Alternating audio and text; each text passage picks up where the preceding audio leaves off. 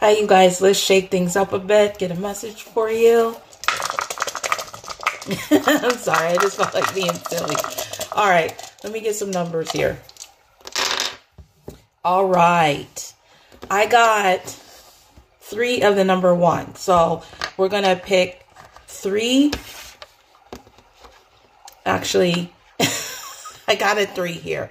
So now let's just leave it at one. Okay. So pick a number one, three, or five. And this is going to be your message. Okay. So normally I, I count the doubles as one.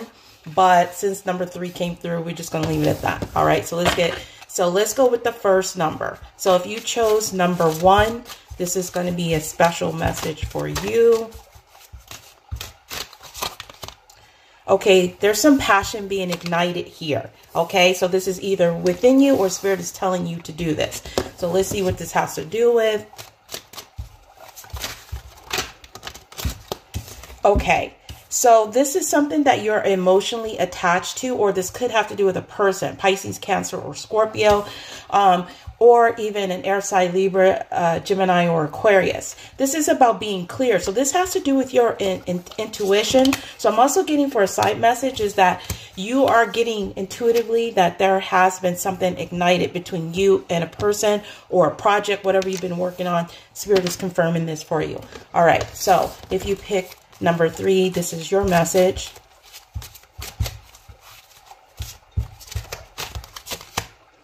prosperity begins. So this has to do with your money, okay? So something is uh, changing here. Something is growing. Your finances are growing. Let's see what this has to do with.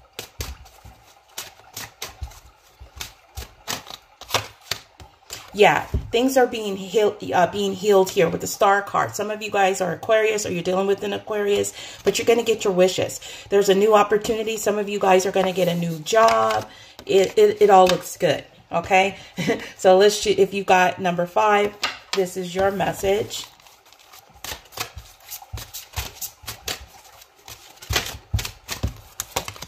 Okay heartache and loss. This is something about that you have heartbreak. Maybe somebody um, broke your heart recently. You might be wondering if you're going to be able to recover from this situation. It could also involve a third party so let's see what this has to do with. Yeah you have you're going to either get the strength or uh, spirit is telling you to get the strength. Some of you guys are leo or you're dealing with the leo but you are going to have the courage to get over this heartache and loss or spirit is encouraging you to do that okay? So it'll work out for you.